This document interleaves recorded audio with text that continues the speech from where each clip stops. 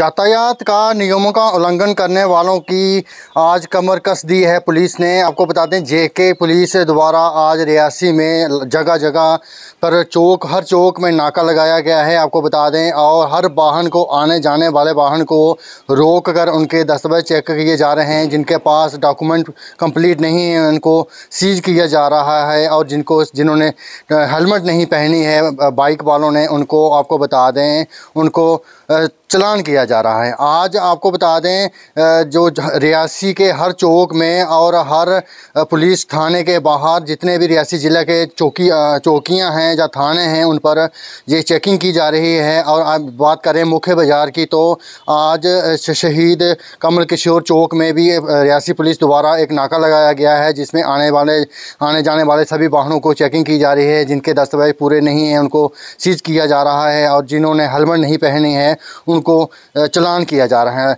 कई सारे चलान किए हैं रियासी पुलिस द्वारा। रियासी पुलिस से बातचीत हमने की। उन्होंने यही बताया है कि दिन भर की जो रूटीन है वो हमारे, हम जो अधिकारी हैं, वो नाके पर तैनात हैं, और आने जाने वाले वाहनों की चेकिंग की जा रही है, उनको चलान किया जा रहा है। आपको बता दें, जो भी अपने घर से निकल रहा है, उसको रफ्तार समाचार के माध्यम से हम बताना चाहते हैं कि हम का उल्लंघन ना करें, और जो बाहर आता है, बाइक लेके आता है तो हेलमेट पहन के आएँ। अगर गाड़ी लेके आता है तो अपने गाड़ी के डॉक्यूमेंट और सीट बेल्ट पहन के जितने भी बड़े वाहन हैं, जो बसें हैं, टेंपू हैं जहाँ जो दूर दूर से जो वाहन आते हैं, उनकी भी आज दिन दोपहर को ट्रैफ़िक विभाग द्वारा जो उनके चलान किए गए, आपको बता दें, रियासी डीसी कार्यालय के बाहर जितने भी बाहर वाहन खड़े थे, उनके आपको बता दें, चलान किए गए हैं, नो पार्किंग के, उनके चलान किए गए हैं। कुछ जो वाहन हैं आर द्वारा एक मैसेज किया गया था ट्रैफ़िक विभाग को कि जितने भी जो ब्लैक लिस्ट गाड़ियाँ हैं, उनको भी आज सीज किया गया है।